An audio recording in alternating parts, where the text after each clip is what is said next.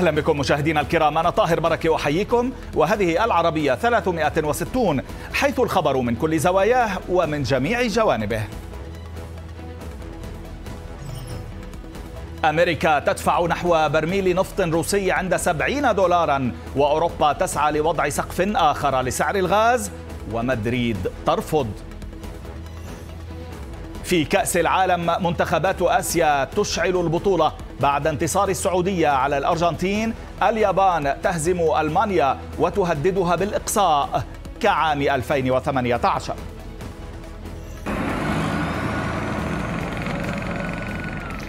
وعيد تركيا بعملية برية في سوريا يصطدم برفض أمريكي روسي وإردوغان. بعد التهديد يقول إنه ينتظر الوقت الملائم.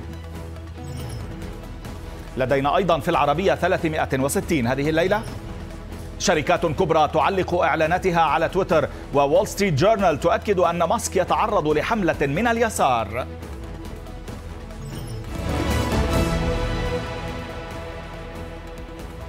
في الحرب الروسية الأوكرانية اليوم كثير من التطورات. ربما أبرزها جاء من خارج ميدان المعركة وعلى بعد مئات الكيلومترات في ستراسبورغ الفرنسية حيث صنف البرلمان الأوروبي روسيا كدولة راعية للإرهاب بدعوى أن الهجمات التي تشنها على أهداف مدنية في أوكرانيا تنتهك القانون الدولي. هي خطوة رمزية إلى حد كبير.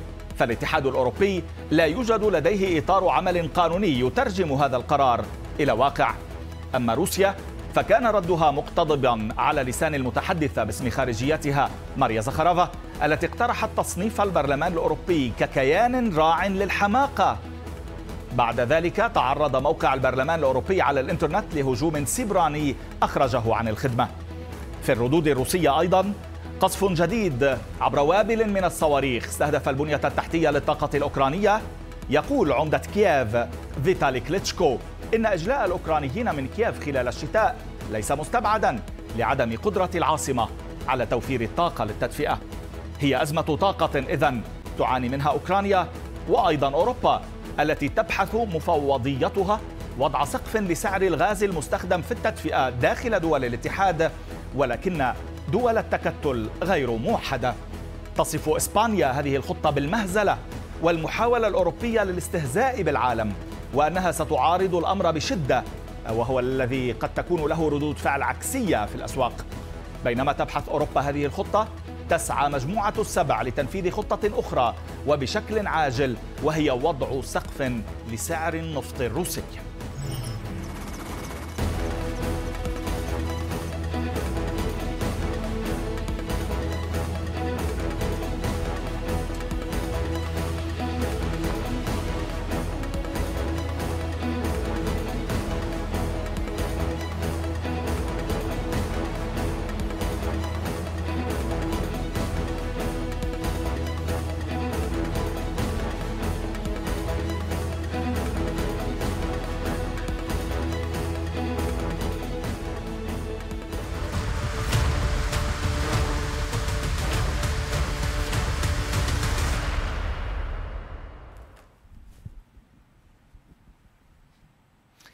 لم تؤتي العقوبات الغربية على روسيا ثمارها كما كان مرجوا منها على ما يبدو. وبدأت الولايات المتحدة والاتحاد الأوروبي التفكير جديا بإجراءات تقيد موسكو أكثر.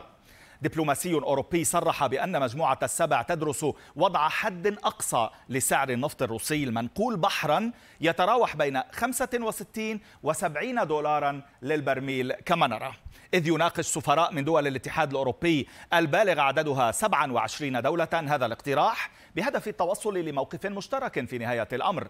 ومن المقرر أن تبدأ مجموعة السبع والاتحاد الأوروبي في الخامس من ديسمبر بتطبيق الحد الأقصى للسعر على صادرات النفط الروسي المنقولة بحرا لمعاقبة موسكو على شنها حربا على أوكرانيا. مسؤول كبير في وزارة الخزانة الأمريكية قال إن سقف أسعار صادرات النفط الروسية سيتعدل على الأرجح بضع مرات في السنة وليس بشكل شهري. الهدف الأساس من الخطوة تقليل عائدات النفط لآلة الحرب الروسية مع الحفاظ على تدفق الخام إلى الأسواق العالمية ومنع ارتفاع الأسعار. من المقرر أن يبدأ تطبيق الحد الأقصى لصادرات المنتجات النفطية الروسية في الخامس من فبراير المقبل لكن للرئيس الروسي رأي أيضا. إذا كانت أسعار النفط من روسيا أو دول أخرى محدودة وتم وضع حدود سعرية مصطنعة فسيؤدي ذلك حتما إلى تفاقم مناخ الاستثمار في قطاع الطاقة العالمية. ومن ثم سيؤدي إلى نقص عالمي في موارد الطاقة وسترتفع تكلفتها وهذا أكرر سيصيب الدول الفقيرة.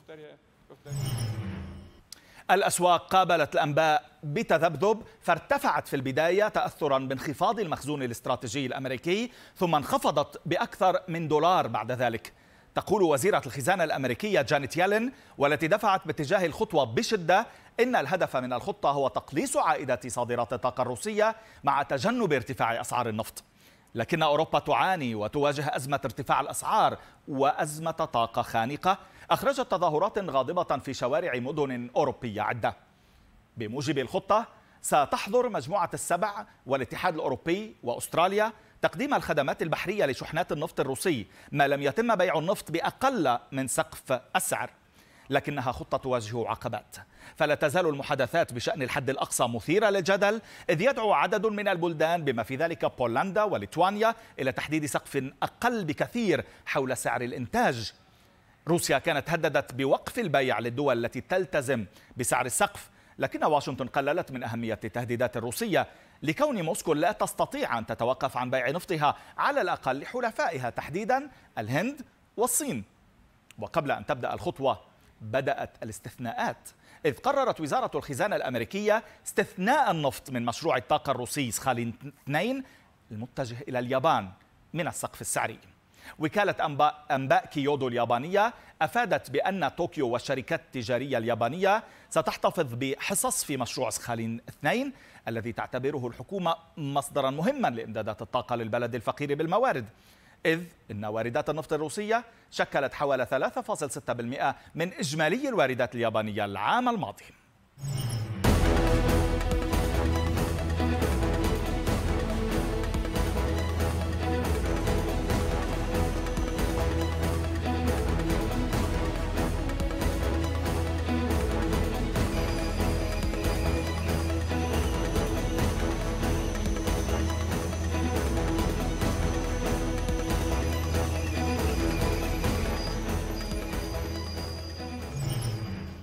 معنا من باريس الباحث الاقتصادي دكتور دانيال ملحم. أهلا بك معنا دكتور مرة جديدة على شاشة العربية. لنبدأ بموضوع سعر آه، النفط. إلى أي مدى باعتقادك آه، ستنجح الخطط الغربية لوضع آه، سقف سعري للنفط الروسي؟ وإلى أي مدى ستلتزم البلدان حتى الحليفة منها للولايات المتحدة بذلك؟ وهل يمكن فعلا لروسيا أن تنفذ تهديدها بوقف المبيعات؟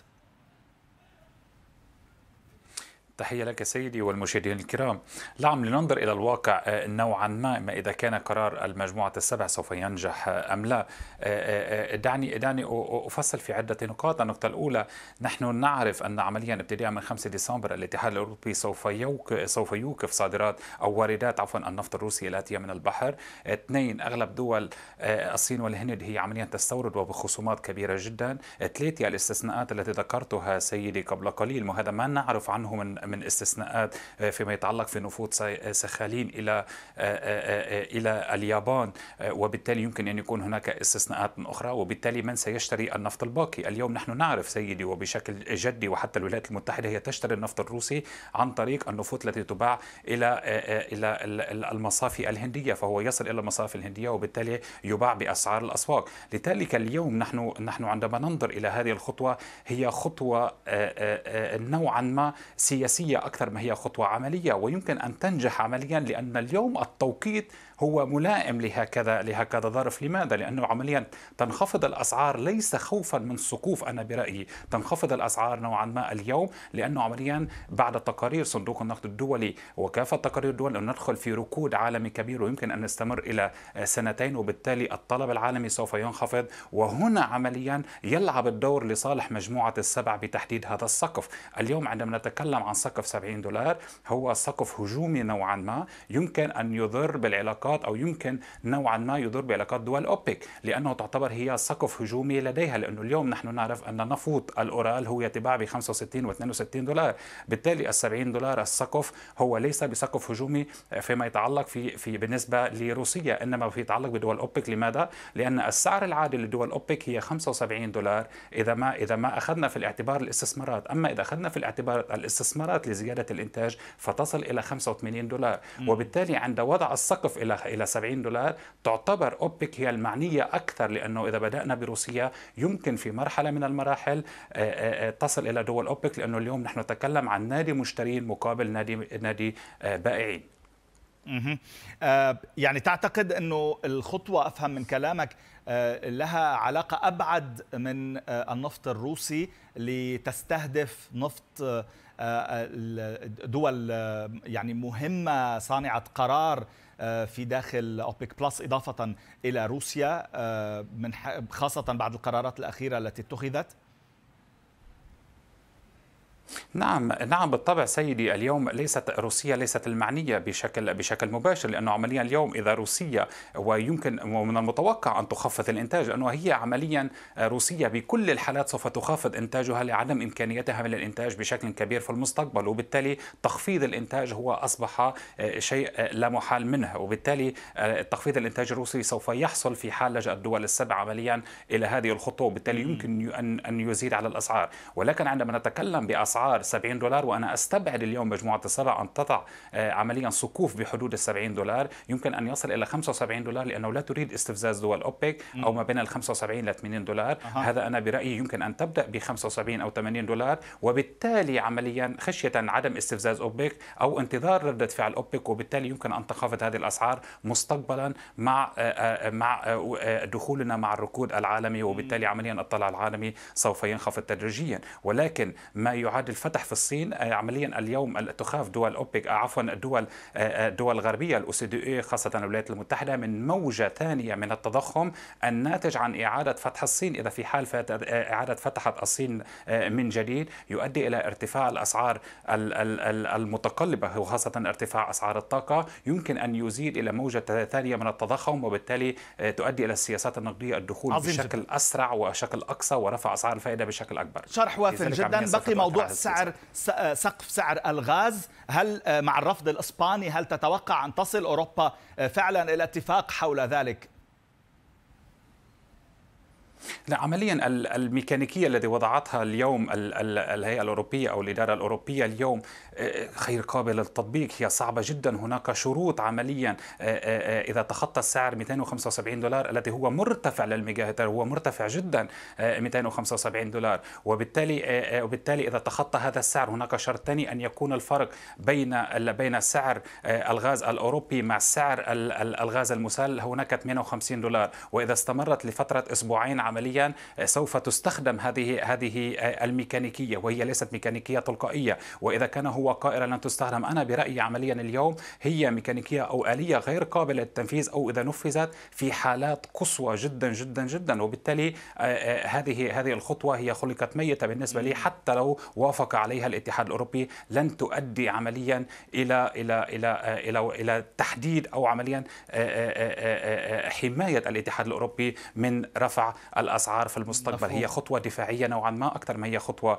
هجومية وبالتالي هي صعبة المنال. الحل الوحيد بدأت اليوم تطفو بعض المعلومات على الاسعار هي الشراء المشترك لألمانيا وفرنسا في عقود طويلة الأجل عن طريق عن طريق النرويج. وهنا يبدأ عمليا بداية الحل في أوروبا. ويكون هذا هذه العقود تستهدف عمليا لإنتاج الكهرباء. وهكذا تستطيع أوروبا عمليا تنفس الصعداء وخاصة فيما يتعلق إنتاج الطاقة التي تستهدف القطاعات الصناعية وبالتالي ألمانيا تستطيع نوعا ما المواءمه ما بين سياساتها الداخلية لأنه كان أزمة سياسية داخلية اليوم نعم. في ألمانيا صحيح. وبين عمليا سياسات التحول نحو البيئة الأوروبية سأكتفي معك بهذا القدر شكرا جزيلا على هذه القراءة الباحث الاقتصادي دكتور دانيال ملحم من باريس تحياتي إليك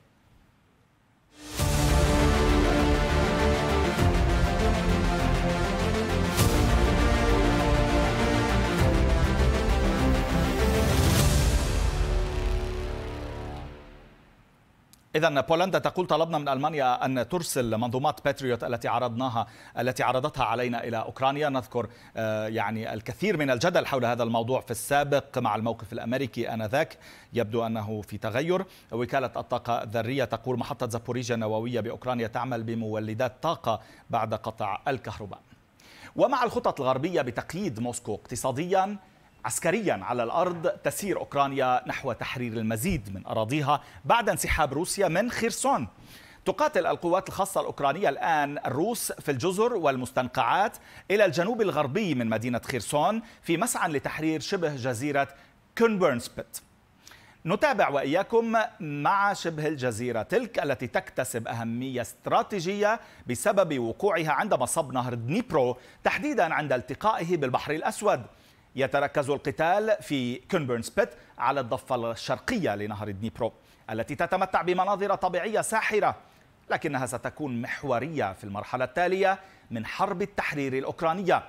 سيطرت روسيا على شبه الجزيرة في يونيو الماضي في واحدة من آخر تقدماتها الملحوظة هناك في الجنوب قبل أن تجبرها كييف على التراجع والتحول للدفاع. تسمح السيطرة على شبه الجزيرة لروسيا بإبقاء قوة أعمق في البحر الأسود وحراسة الطرق المؤدية إلى موانئ في ميكولايف وخيرسون وحماية قواتها في شبه جزيرة القرم. إذا استولت أوكرانيا على كينبرن سبيت فإنها ستضع خطوط إمداد روسية التي تمتد شمالا من شبه جزيرة القرم تحت مرمى أنظمة الأسلحة الأوكرانية. قال فيتالي كيم رئيس الإدارة العسكرية في منطقة ميكولايف إن القوات الأوكرانية تحرز تقدما في كينبرن سبيت وسيطرت بالفعل على بلدة أوتشاكيف على بعد أقل من خمسة كيلومترات من شبه الجزيرة. بينما قال مدونون عسكريون روس إن القوات الروسية تصدت الهجمات على شبه جزيرة كينبرن سبيت وفق ما نقلته صحيفة نيويورك تايمز.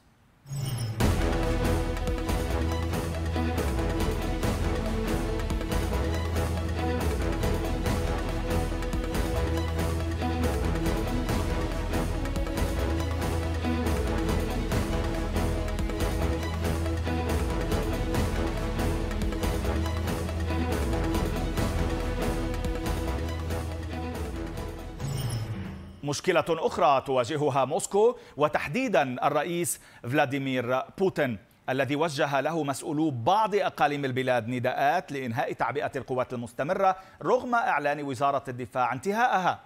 ففي أحدث مؤشر على تصاعد السخط أرسل مسؤولو جمهورية كاريليا وهي منطقة شمال غرب روسيا على الحدود مع فنلندا خطابا لبوتين يحضه على إصدار مرسوم يمنع الجيش من مواصلة التعبئة الجارية بسبب آثاره السلبية على المجتمع.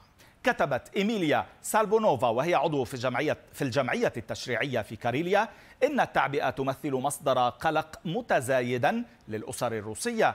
ومجموعات العمل والعديد من الناس يعانون من مشاكل صحية. أضافت أن التصاريح والخطب العامة الصادرة عن السلطات العسكرية ليست إجراءات معيارية وبالتالي ليس لها قوة قانونية. تأتي الرسالة بعدما اتهمت أوكرانيا روسيا ببدء تعبئة سرية لتجنيد المزيد من المواطنين الروس في شبه جزيرة القرم. المنطقة التي ضمتها روسيا من أوكرانيا في عام 2014 هيئة الأركان الأوكرانية ذكرت أن إجراءات التعبئة السرية في صفوف القوات الروسية ما زالت جارية في شبه جزيرة القرم فيما نفى الكرملين قائلا إنه لا توجد مناقشات بشأن تعبئة ثانية أو سرية и противоправным действиям, а также охрана участков, оповещение пунктов приема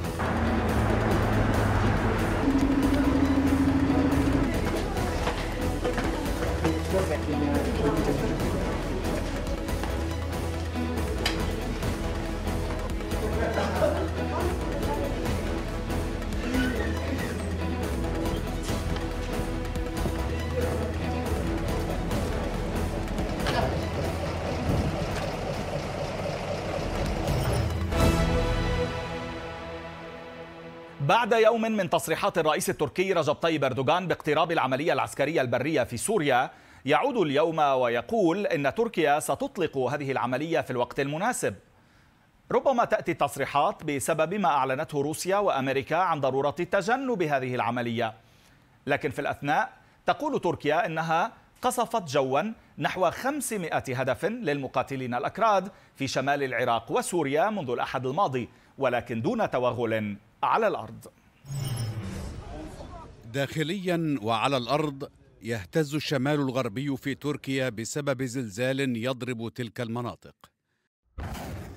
أما خارجيا وعلى الحدود الجنوبية الشرقية تهتز الأرض شمالي سوريا والعراق. لكن بسبب الضربات الجوية التركية هناك العملية التي وصفت بالأكبر والأشمل والأكثر فاعلية في شمالي العراق وسوريا وأسفرت عن تحييد 254 مسلحا وأصابت 471 هدفا وفق وزارة الدفاع التركية. عملياتنا المستمرة بالطائرات والمدفعية والطائرات بدون طيار ليست سوى البداية. وعيد بمزيد من الضربات. بموازاة القصف الجوي والمدفعي إلى زحف القوات البرية وفي الوقت المناسب بحسب الرئيس التركي رجب طيب أردوغان. وذلك ما يخشاه النظام السوري الذي تتزايد مخاوفه من تكرار الرئيس التركي تحذيراته من أن جيشه قد ينفذ توغلا بريا جديدا في سوريا. وهو أمر تعهدت القوات الكردية المدعومة من الولايات المتحدة بالتصدي له. مقابل حث روسيا لتركيا بالتحلي بضبط النفس والامتناع عن شن هجوم بري واسع النطاق في سوريا. فيما تثير الضربات التركية التوتر مع النظام السوري أيضا إضافة إلى أن تلك الضربات التركية أصابت مواقع لجيش النظام السوري أسفرت عن مقتل وإصابة جنود. ضربات قد تلغي الاتفاق الضمني في الخصومة ضد الأكراد السوريين بين أنقرة ودمشق. دمشق التي تعارض سيطرة الأكراد على نحو ثلث أراضي البلاد ومنها الشرق الغني بالنفط لتظل مواقع الأكراد في الشمال السوري كما العراقي أيضا بؤرة لصراع مشتعل على الدوام.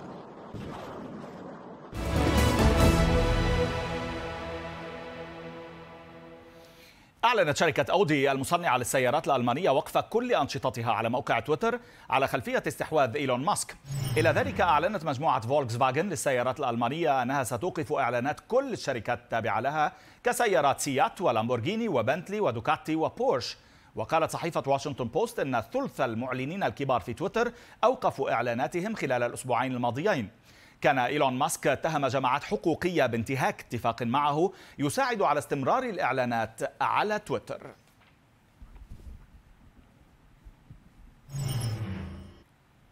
استحواذ إيلون ماسك على تويتر خطوة مهمة على طريق ضمان حرية التعبير عالميا ولكن بحسب صحيفة وول ستريت جورنال الصحيفة قالت إن شركات التقنية الأكبر في العالم أوجدت أنماطا معينة من الخطاب وإذا لم يتم الالتزام بهذه الأنماط فسيكون الحظر هو البديل. خلال هذه الفترة حاولت العديد من المدافعين عن حرية التعبير حاولوا شق طريقهم لكنهم تعرضوا للقمع من عمالقة التكنولوجيا المهيمنة وحاول البعض إيجاد منصات بديلة مثل بارلر وتروث سوشيال كبديل عن تويتر ومجددا وجهوا بحظر التطبيق على متاجر التطبيقات. وول ستريت جورنال قالت إن إيلون ماسك يسعى لضمان حرية التعبير خاصة مع امتلاكه الآن لخامس أكثر وسائل التواصل الاجتماعي نشاطا في العالم. فكرة ماسك عن عدم وجود قيود على التعبير قوبلت بآراء متضاربة بين من اعتبره إنجازا ومن اعتبره يفتح الباب لخطاب الكراهية. أشارت الصحيفة أيضا إلى القيود التي وضعتها شركات التكنولوجيا على التعبير خاصة خلال ذروة جائحة كورونا ما كان له تأثير حقيقي على السياسة والطب والإدراك العام للشعوب. موقع تويتر وخطط ماسك ستستمر مثل ما يشاء خاصة وأن القوانين الأمريكية تتيح للشركات الخاصة أن تضع قوانينها الخاصة. وول ستريت جورنال في مقالها التحليلي اعتبرت أن إيلون ماسك سيرمي حجرا في بركة عمالقة التقنية وقد يثير نقاشا حقيقيا حول حرية التعبير إضافة إلى أنه قد يواصل فضح الفساد والانتفاخ داخل شركات التكنولوجيا والطرق التي تستخدمها لكبت الأصوات المعارضة لملاك هذه المنصات وهم في أغلبهم من اليسار في الولايات المتحدة. جهود ماسك بحسب وول ستريت جورنال مجرد مشروع رأسمالي آخر قد يكون ناجحا أو لا من وجهة نظر اقتصادية. لكن من وجهة نظر اجتماعية فقد بدأ بالفعل بخرق السقف الذي وضعته وسائل التواصل الاجتماعي اليسارية.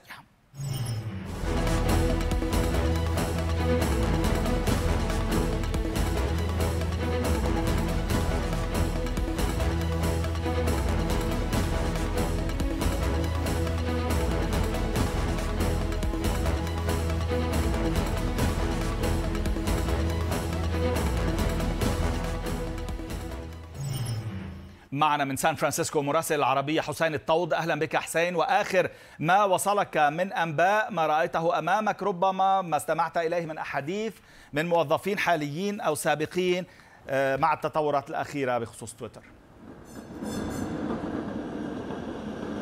تحية لك طاهر. موضوع الإعلانات وموضوع حرية التعبير وتبادل الاتهامات مع تويتر والجهات الأخرى. كرات ثلج في الحقيقة تكبر وتكبر كل يوم. الثابت الوحيد حتى الآن أن الشركة هنا والتي أقف أمامها في سان فرانسيسكو ما زال القائمون عليها يرفضون التحدث إلى وسائل الإعلام. اليوم قمت بمحاولة جديدة وحاولت التواصل مع آه، أحد فيها ودخلت إلى آه، إلى قرب البوابة الرئيسية. لكن كالمعتاد قوبلت برجال الأمن حول المكان. طلبوا مني عدم التسجيل وعدم إحضار الكاميرا وسألتهم هل يمكنني التواصل مع أحد. قال يمكنك أن تدق الباب وترى إذا كانوا سيتواصلون معك. وبالفعل هذا ما فعلته آه، اقتربت آه، من البوابة الرئيسية لشركة تويتر. حاولت التواصل مع الموظفين لكنهم عندما عرفوا أنني آه، صحة صحفي رفضوا الحديث معي كما هو المعتاد. هم لا يعطون تصريحات. شركة تويتر تلتزم بالصمت حتى الآن في ظل ما يحدث. آه، طبعا نحن نريد أن نتحدث لنعرف آه، آه، ما يجري ولا سيما أنه مؤخرا إيلون ماسك كما نقل عنه أعلن طاهر انتهاء مرحلة ال ال ال الإقالات وبدأ مرحلة التوظيف. نريد أن نعرف كيف سيكون هذا التوظيف ما لأنه هو قال بأنه سيركز سيعطي الأولوية للمهندسين ولموظفي المبيعات. ولكن حتى الآن الموظفون داخل المؤسسة الذين بقوا وهم عددهم بالمناسبة 2700 بحسب آخر التقديرات. لم لا يريدون التحدث. هناك خوف. عندما نسأل أي موظف يخرج من هذا الباب نقول هل أنت في تويتر؟ حتى لو كان من تويتر يرفض الحديث معنا أو ينكر أنه يعمل في تويتر. هناك نشعر بأن هناك خوف الآن داخل هذه المؤسسة. كما علمنا بعضهم بعض من من اقيلوا أقيلوا لأنهم عبروا عن رأيهم على تويتر أو عن آه، على آه، أي وسيلة تواصل اجتماعي. لهذا الآن الباقون ملتزمون بالصمت. نحاول التواصل مع آخرين ولكن من الصعب الوصول إليهم حاليا. نحن نحاول دائما ذلك ولكن آه، الأمر ليس بهذه السهولة. بالنسبة للإعلانات طاهر بالفعل الشركات الكبرى الآن تواجه ضغوطا من الجمعيات المدنية والتي تدافع عن الحقوق ومن ناشطين كثر يعتبرون أن إيلون ماسك من خلال ما يقول بأنه حرية تعبير هو يسمح للمتطرفين ويسمح بانتشار خطاب الكراهية وأيضا الخطاب المعادي للساميه كما يقولون. لهذا هم يدفعون ويضغطون على الشركات الكبرى لوقف الإعلان في تويتر. ويتهمون ماسك في المقابل كما إن ماسك يتهمهم يتهمون ماسك بأنه لم يلتزم معهم. كان هناك اجتماع سابق في بداية هذا الشهر. قال له ماسك أنه سينشئ مجلس لمراقبة المحتوى أي. لمحاربة خطاب الكراهية أو لوقف خطاب الكراهية ومعالجته. ولكنه عندما أعاد تفعيل حساب الرئيس السابق دونالد ترامب آه، آه، هذه الجمعيات وهؤلاء الناشطون اعتبروا أن ذلك آه، عدم التزام من ماسك بالوعد الذي أعطاهم إياه. ومنذ ساعة فقط نشر إيلون ماسك تغريدة على حسابه حسين في نفس الموضوع الذي تتحدث عنه. آه، يسأل متابعيه هل على تويتر أن يعني يقوم بعفو عام عن كل الحسابات الموقوفة إذا لم تخرق القانون أو إذا لم تتورط في أي رسائل إلكترونية مزورة فظيعة آه، وهناك الكثير من التصويت على هذه التغريدة بانتظار أن يفعل ذلك ربما. من يدري كما فعل من قبل في حسابات معينة. هنا النقطة طاهر. آه، الجمعيات الحقوقية والناشطون لا يعتبرون أن هذا التصويت آه، يعكس رأي الأمريكيين ولا يعتبرون أنه يعكس أيضا الشفافية. ماسك كان وعدهم بالشفافية بالتعامل مع هكذا مواضيع. هم يرفضون هذا التصويت. هم لا يعتبرونه شفافية. هنا الجدل الكبير الآن بين ماسك من جهة وبين الناشطين والجمعيات المدافعة عن الحقوقية المدافعة عن, عن, عن الحقوق المدنيين وعن التي تحارب كما تقول خطاب الكراهية وخطاب معاداة السامية هذا هذا هو الرفض المتبادل بين الاثنين وعدم يعني في ظل رفض كما قلنا رفض شركة تويتر التواصل مع الصحفيين إدلاء بتصريحات رسمية. نحن ما نسمعه عن تويتر الآن هو تصريحات لبعض الموظفين السابقين أو الذين أقيلوا يتحدثون في الكثير من الأحيان بشرط أن لا تذكر أسمائهم الحقيقية أو من بعض الموظفين الذين ما زالوا يعملون في الداخل ولكن يرفضون آه، الإفصاح عن أسمائهم تمام. الحقيقية لكن لا يوجد بيان رسمي من تويتر حول حول الموضوع هذا يزيد من الغموض ويزيد أيضا من التشكيك آه، من قبل الناشطين ومن قبل الجمعيات الحقوقية لا سيما أن ماسك كما يقولون هم بأنه لم يستشرهم مثلا بموضوع آه، إعادة تفعيل حساب دونالد ترامب وعدد من الشخصيات التي يصفونها بأنها متطرفة. قال على الأقل هو يعني آه، لم يغير فقط في تويتر بموضوع التصويت آه، ليفعل ما يريد. إنما غير كثيرا أيضا في أولويات وسائل الإعلام العالمية ومثل الكثير من نشاطاتك اليومية. أنت كما انتقلت من أمام المؤسسات الرسمية الأمريكية إلى أمام تويتر وربما لاحقا إلى مؤسسات وسائل تواصل أخرى وربما ربما آه، هذا النوع من التغطيات سيسود في فترة ما من الزمن. من يدري؟ من سان فرانسيسكو مراسل العربية حسين طاوت شكرا جزيلا لك على كل هذه المعلومات. وفي العربية 360 أيضا. الجمهوريون يبدأون خطة عزل بايدن ويستهلون الطريق لوزير الأمن الداخلي.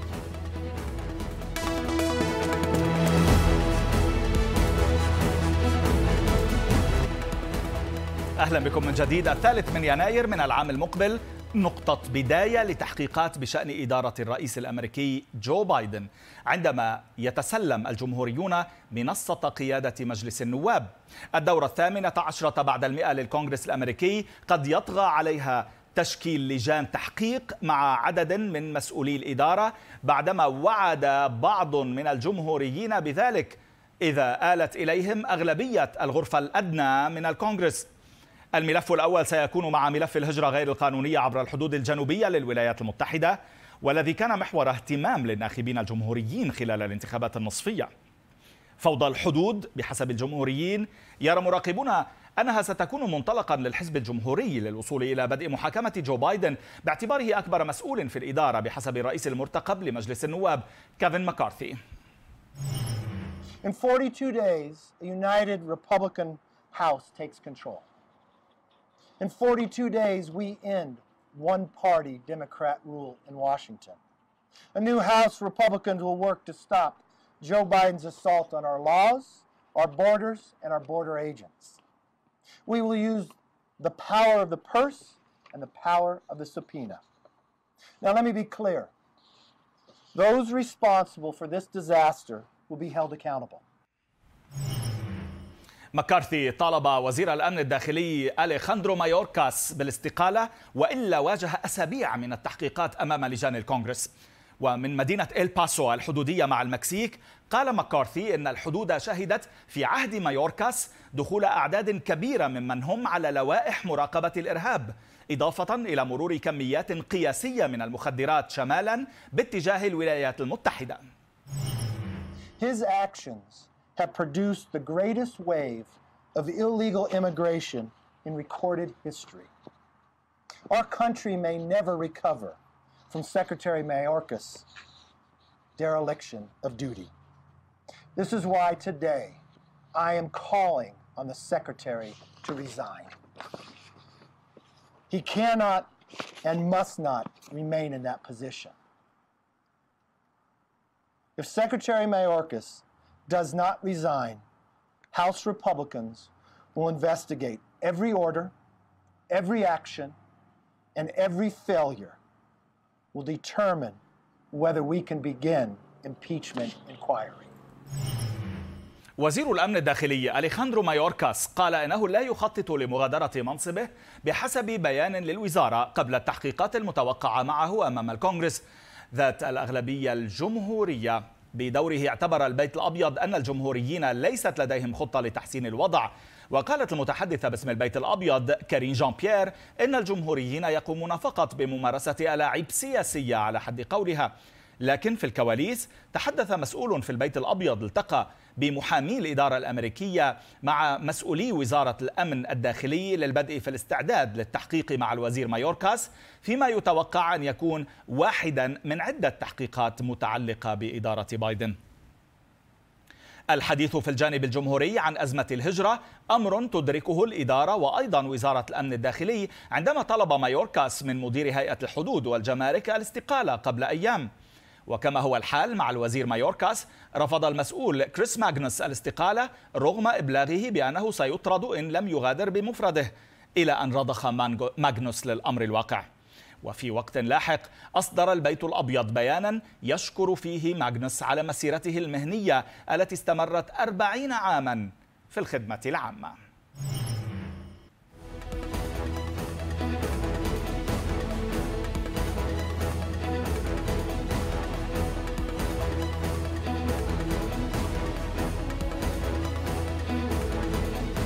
يوم في العربية 360 من دولة تشيلي في أمريكا الجنوبية وهي لثوران بركان فيلاريكا جنوب البلاد والذي أصبح نشطا مؤخرا. يقع البركان على جبل يصل ارتفاعه لأكثر من 2800 متر. وتظهر الصور الملتقطة من بعيد وهج الحمم خلال الليل.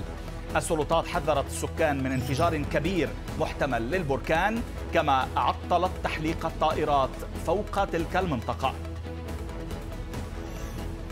تصريح اليوم في العربية 360 لرئيسة وزراء اسكتلندا نيكولا ستيرجن وذلك بعد أن قضت المحكمة العليا في بريطانيا بعدم جواز إجراء استفتاء لانفصال اسكتلندا عن المملكة المتحدة دون موافقة البرلمان البريطاني.